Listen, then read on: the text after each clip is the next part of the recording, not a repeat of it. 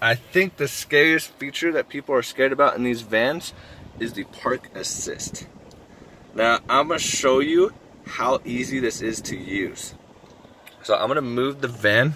I've already created a parking spot over there. Now you can per perpendicular and parallel park the van. I'm gonna show you how that works. So we'll come here, we got a Mercedes and another hybrid right there. So let's come around the corner turn it.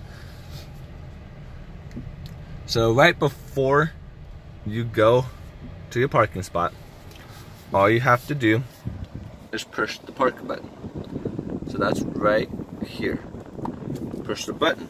Now you will get a screen here. Push OK to switch to perpendicular. Now we're going to try perpendicular parking here. So I push OK on the steering wheel. So now it's switched to parallel, oh, switch to perpendicular parking. So now I put the car in drive and I drive slowly past these cars. And it's searching for a parking spot.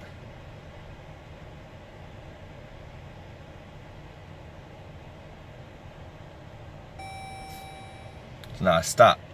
Now you control the throttle response and the gear it's in. You do not touch the steering wheel. So now it says switch to reversed.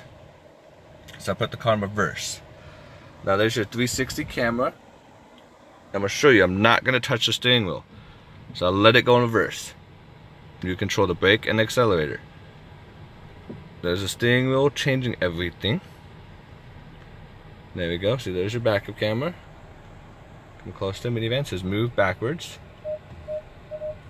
Yep, it keeps beeping at you, but I'm not doing anything, just keep backing up.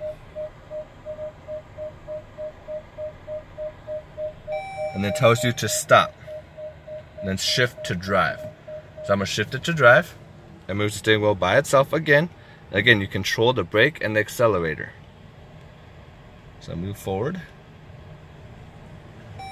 Now stop. I stopped. That says shift to reverse. Shift to reverse.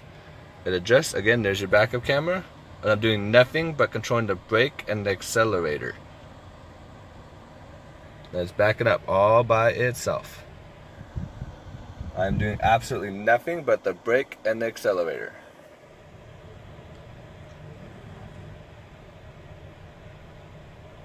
Just keep backing up. See, it's making itself even. It senses everything. Starts beeping when we get close. Move backwards and then stop. And then you put it in park and you're done.